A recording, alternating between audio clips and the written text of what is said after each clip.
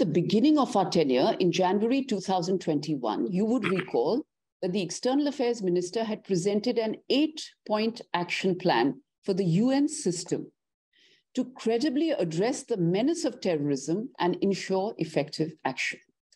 As I've already mentioned, as the chair of the Counterterrorism Committee, we raised the profile of this committee. The special meeting of the committee held in India in October 2022, to which I've already alluded, resulted in the landmark Delhi Declaration.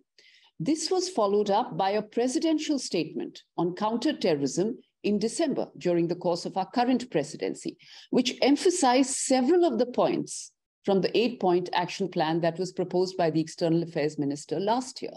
For instance, the Council this time condemned cross border terrorist attacks, called on all member states to summon the requisite political will to denounce all acts of terrorism, urged member states to ensure that listing and delisting proposals of individuals and entities under Security Council sanctions are evidence based, reaffirmed member states' obligations to prevent and suppress the financing of terrorist acts, underlined that acts of terrorism seriously impair the enjoyment of human rights, and urged member states to deny safe haven to and bring to justice, extradite, or prosecute the perpetrators.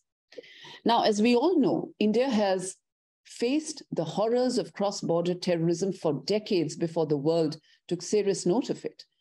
We have lost many innocent lives, and all the while, we have fought terrorism resolutely and with zero tolerance. We will continue to do so. And as our Prime Minister has stated, not rest till terrorism is uprooted.